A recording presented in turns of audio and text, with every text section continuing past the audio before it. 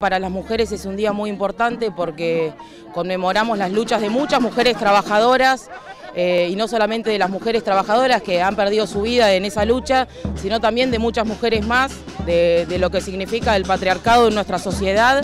y además de lo que significa un gobierno neoliberal eh, en esta época de crisis económica que justamente a la mujer eh, es a la que más perjudica, ¿no? Así que para nosotras es importante también remarcar eso porque creemos fundamental que en las crisis económicas la mujer es la que más afectada se ve. Por eso esta presencia de mujeres, esta convocatoria en Rawson y la convocatoria también que se hace después en cada una de las localidades, Treleu, Puerto Madre, en Rawson, el Valle y también eh, los diferentes hechos que se van a hacer en Comodoro Rivadavia y en Esquel también. Sí, en realidad todo lo que sea eh, revolución es, se nota como un extremo, pero en realidad es una lucha de mujeres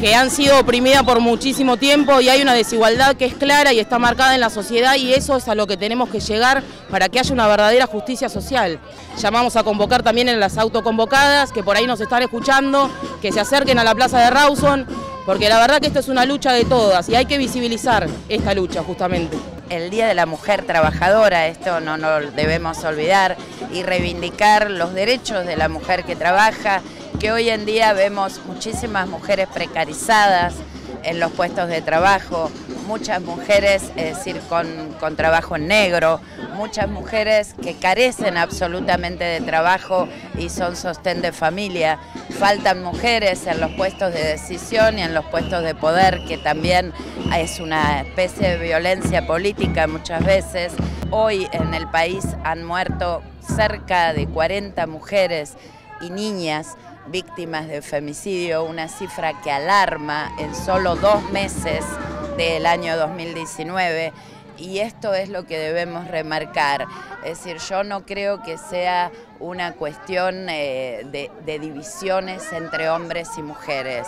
Creo que tanto varones como mujeres tenemos que estar luchando por la reivindicación de los derechos de la mujer, por la no violencia, porque estas cuestiones que hoy nos pasan como mujeres no sigan pasando, por la recuperación de la libertad de nuestras presas políticas, es decir, por la reivindicación de nuestras mujeres originarias que tanto sufren. Hay eh, muchísimos temas como para ver.